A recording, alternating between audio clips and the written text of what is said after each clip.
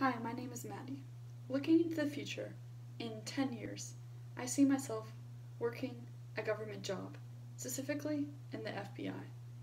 This class will help me get this job in two with two important skills. Practice and hand gestures. The use of hand gestures will help me get that job that I want in 10 years. That job will be an FBI agent, hopefully, will be an FBI agent. I will, this class is, will teach me great interview skills by using my hand gestures and practicing what I'm going to say to my future employers.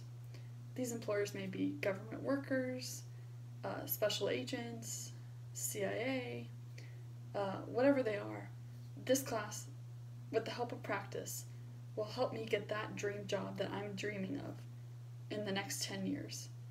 Let's see. I'll be 30 years old, hopefully, have a house, uh, married, with a few kids, and I'll have that dream job of working possibly in Washington, D.C., working in the Special Investigation Unit.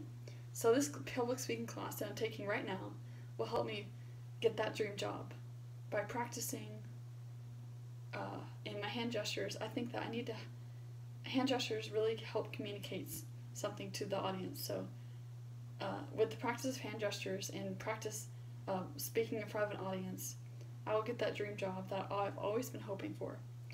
And so, just to recap, I went over hand gestures and communication toward my audience. With these skills that I learned in this public speaking class, I will be well prepared in my interview and get that dream job in the next 10 years. Thank you.